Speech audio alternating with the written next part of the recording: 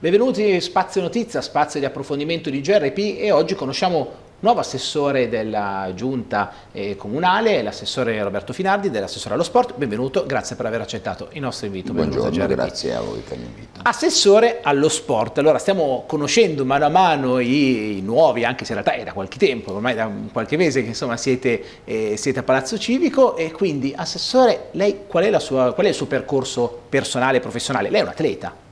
Beh, un, un ex atleta. un ex atleta mancherei di rispetto a quelli che fanno gli atleti, dicessi oggi che sono, che sono atleta. Sì, ho avuto un passato da, da professionista in atletica leggera, ho avuto un, un passato da professionista come allenatore in, diversi, in diverse discipline sportive, anche in diversi paesi europei. Però lei è nato a Torino? Sono nato a Moncaglieri, Vabbè, insomma, sì, sì, sono torinese. Anche se ho vissuto parecchio fuori, ho vissuto a Roma, ho vissuto a Parigi, ho vissuto a Novara, ho vissuto ad Asti, questo, questo per motivi ovviamente di, di lavoro, ma sono, sono, torinese di nascita e vivo a Torino. Quindi una vita dedicata allo sport e a un certo punto hai detto io quasi quasi faccio l'assessore. Mm, ho fatto lo sport perché era l'unica cosa che sapevo fare. Vabbè, le veniva anche bene visto alcuni risultati. Sì, sì no, ho avuto insomma. fortuna, ho avuto fortuna. Beh, insomma, non immagino non solo.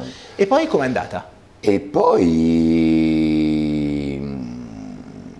presentato questo curriculum come tutti gli altri perché mi, mi piaceva questa idea di poter, siccome mi ero sempre molto e lungamente lamentato con, con un, un, po' con tutti, un po' discussioni da bar se vogliamo, però ah, qui le cose non vanno mai bene. No, vedevo dal ministro dello sport all'assessore dello sport e via discorrendo, tutta gente che dicevo ma questo lo sport l'ha visto in mm. televisione mm. forse, perché non mi sembra che sappia di che cosa si stia parlando. Il giorno che potevo avere l'occasione la reputo un'opportunità, l'ho reputato un'opportunità quella di mettere quelle che erano la mia esperienza, le mie certo. competenze.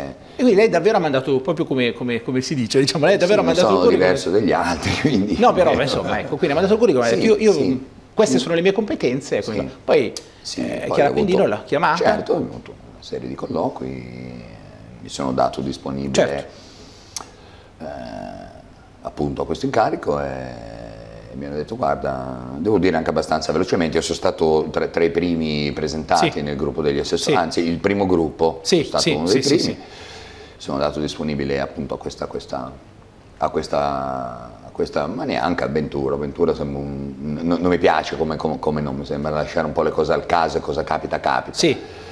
Vabbè, questo impegno, questo incarico. Esatto, esatto questo impegno. Quindi poi, e poi è diventato assessore. E poi sono diventato assessore. E che cosa ha trovato? Com'è Torino? Dal punto di vista di un assessore allo sport che fino a quel momento aveva fatto sport e non era assessore. Beh, io, io devo dire che mm, questo mm, mi sembra anche corretto dirlo, rispetto magari a, ad altri miei colleghi, credo di aver avuto un, un compito leggermente più, più facilitato mm. eh, da, dal mio trascorso, certo, dal mio certo. passato, io questo l'ho detto molte volte essendo un, un, uomo che ha fatto lo sport di professione da, da, da 10 a 50 anni, chiaro che 40 anni con eh, 5-6 Olimpiadi all'attivo, 20 campionati del mondo. Sapeva dove andare a parare, insomma, no? Mm, alla fine certo. con i comitati olimpici, sì. con le varie federazioni, mi sono ritrovato a interloquire con, con, persone che conoscevo di che fatto da 40 anni. Però quindi... da un altro punto di vista, no? Quindi magari sì, alcune... sì per, però poi conoscendo quel tipo di mondo io credo, poi, poi, il giudizio ovviamente Beh, non, certo, non, lo devo dare io e, certo. non vorrei neanche apparire presuntuoso o, o presupponente, però credo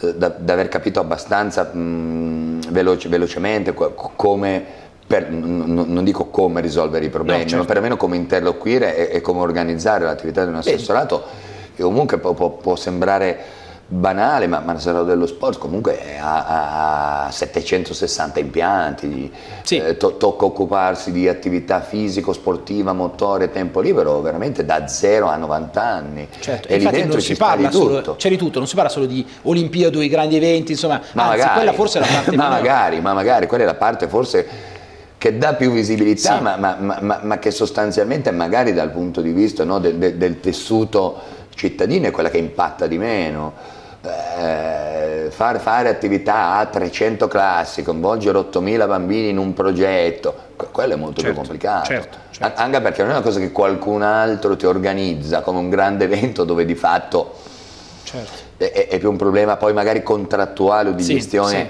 sì. Eh, di, di, di, di, altre cose. Qui, qui veramente devi, devi, devi trovare le persone giuste, i tempi giusti trovare anche molto spesso le risorse, le certo. risorse economiche certo. e, e, questo è, è complicato. Quindi cosa ha fatto? Avete, beh, so che lei tra gli assessori che forse ha incontrato più, più realtà eh, sì. forse proprio perché già in parte le, le conosceva pur, pur con sì, un altro ruolo, sì, quindi insomma l'incontro è stato un po' più facile come diceva, però comunque ha dovuto incontrare, ha incontrato tu, molte realtà presenti sul territorio. Sì, non tu. dico tutte perché magari certo, qualcuna vengo, può, però esatto, parte, non posso anche essermela persa, per però di, di, di fatto ma è quello che sto continuando a fare, io credo che dietro un foglio di carta non, non, non ci sia poi l'esatto peso, l'esatta consistenza in realtà di, di, chi ti sta comunicando qualcosa, di chi ti sta chiedendo qualcosa, di chi ti vuole segnalare un'esigenza. Un, un no? E quindi adesso che, quindi dopo aver incontrate, che, che di fatti, che cosa, quali saranno i suoi Siamo passi? a 700, penso ce ne siano ancora 700.000 sì, da incontrare, sì. non è mai finito, perché poi certo. qualcuno è già al terzo giro, certo. ma, ma come è giusto che sia, voglio dire, no?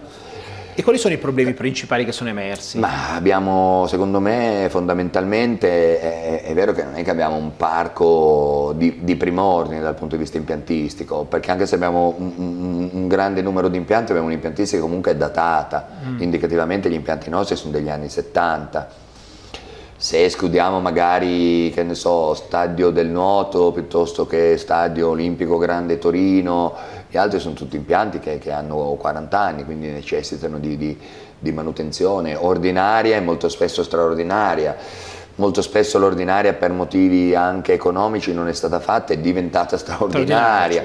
Quindi è credo che buona parte dei problemi li stiamo cominciando a risolvere un, un, po' semplicemente, io dico scherzosamente ai miei collaboratori, un po' giocando a Tetris, mm. eh, eh incastrando e cercando di dare, di dare io vorrei che non rimanesse dietro nessuno e che ciascuno avesse una sua casa, mm, mm, parlo per discipline sportive. Eh, gli sport hanno tutti uguale dignità, voglio dire, no? quindi certo. co come dovrebbero avere uguale dignità tutte le, le, le, le società, le associazioni sportive anche. Poi va da sé che capire che una certa disciplina abbia un certo numero di tesserati e altre ne abbiano cento volte di meno, ma, ma questo non vuol dire che, che allora perché sono pochi non hanno diritto non posso dirgli vai a giocare in un'altra città, voglio dire, certo. cerchiamo comunque di essere attenti anche alle esigenze di... E le difficoltà economiche? Eh, economiche ci sono, per, però io credo che molto spesso la gente, di questo me ne sto anche rendendo conto, molto spesso le persone, le, le società, che poi le società sportive sono fatte di persone, non è che necessariamente sempre ti chiedono del denaro, mo, mo, molto spesso eh, mm. proprio in virtù del fatto che incontro molte persone, sono vicino a molte realtà, faccio un po', io scherzosamente dico il, il genio pontiere, no? eh, se trovo uno che ha bisogno di una cosa, io conosco quello magari che quella cosa ce l'ha ma ha bisogno di un'altra, e, e allora basta metterli in contatto, a volte anche senza, senza grandi somme di denaro, si riesce comunque a, a, a, fare delle cose. Lei ha sentito curiosità, diciamo, eh, dal punto di vista mediatico intorno alla giunta Appendino, la giunta Raggi, sicuramente c'è stata un, una grande attenzione, no? per, per, ovvi motivi, sono le prime grandi città amministrate dal Movimento 5 Stelle, eccetera. Lei ha sentito verso la sua persona, verso il suo nuovo ruolo, una particolare attenzione, un particolare pressing? No, no però io ripeto, io, io in questo che sei stato molto più, più, più virgolette, avvantaggiato o fortunato rispetto ad altri miei colleghi che hanno fatto gli assessori, io di fatto sono rimasto nel mondo in sì. cui ero nato e in cui, e in cui vivevo, Chia, chiaro che sono cambiati magari gli interlocutori, ma, ma molti di, degli interlocutori erano persone che, che, comunque conoscevo da molto tempo, ho continuato a occuparmi a occuparmi di, di sport come, come, come ho sempre fatto. Ecco, siamo già quasi in chiusura, ma le chiedo quali sono allora i prossimi passi, non nel brevissimo periodo, a parte questo Tetris, c'è qualche progetto che dice a me piacerebbe farlo, vediamo se ce la faccio? Sì, sì la, la cosa che più, no più, ci sono molte cose che mi piacerebbe fare, vediamo se ce la faccio.